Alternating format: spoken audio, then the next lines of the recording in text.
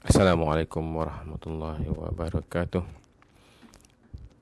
Today I'm going to tell something about shape factor dan saya akan uh, berbahasa Melayu dalam kes ini.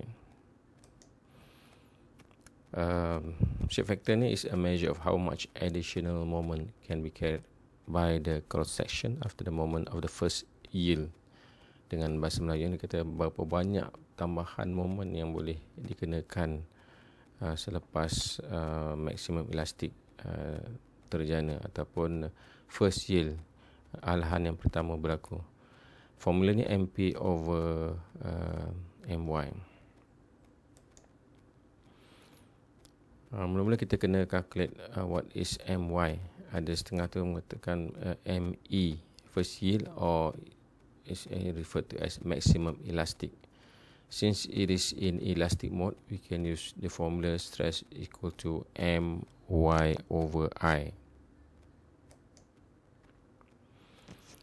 Uh, for example, let's calculate the moment at first yield of uh, maximum elastic for the cross section shown bagi a rectangular yang dalam ni yang mana dimensi adalah 40 mm by 80 mm.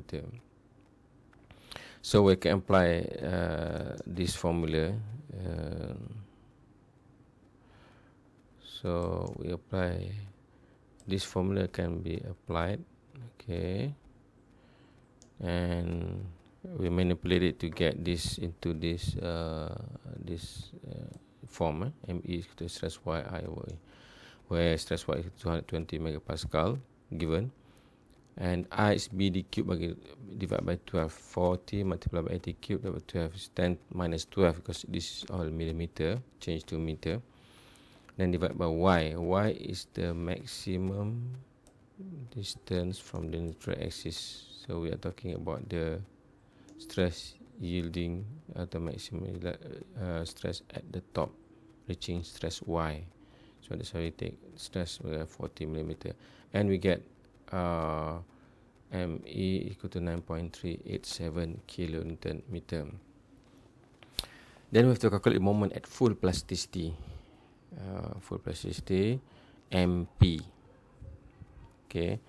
So basically kalau tengok the side view of the beam meaning at the maximum moment the stress y stress y ni it penetrates maknanya oleh kerana m, m, uh, m elastic mom, elastic stress uh, has been reached so it extend to the yielding until the, the, the tengah ni because this one is tensile distance yang bawah dia adalah uh, compressive.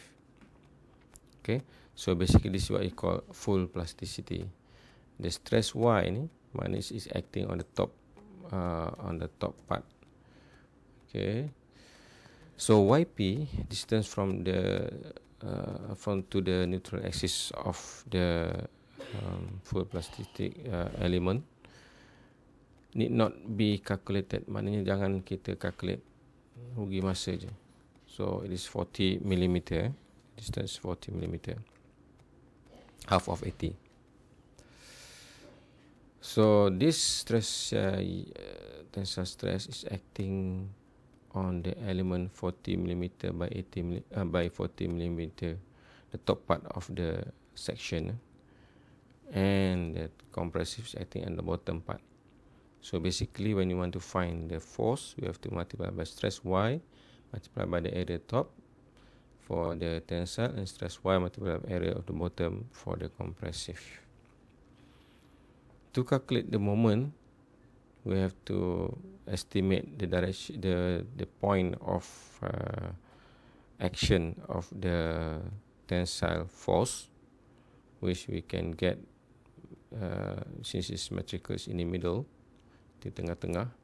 So kita multiply by stress y multiply by the area of the top ni, area kat tengah ni. So this is the area that we are talking about.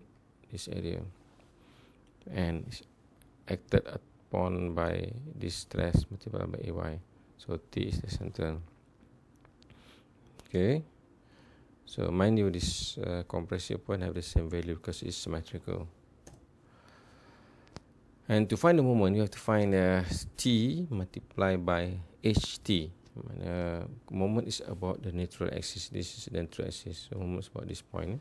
So t multiplied, and since this one is uh, anti-clockwise, this one so is uh, uh, sorry, sorry.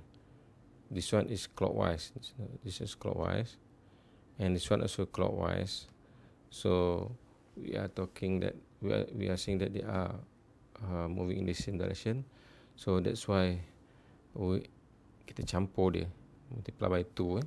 take only one side because it's symmetrical. So we get 14.08.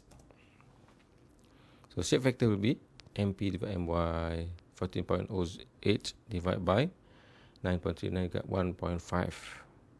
And if you test on uh, apa ni any other rectangle the value is always 1.5 you can have a try on that.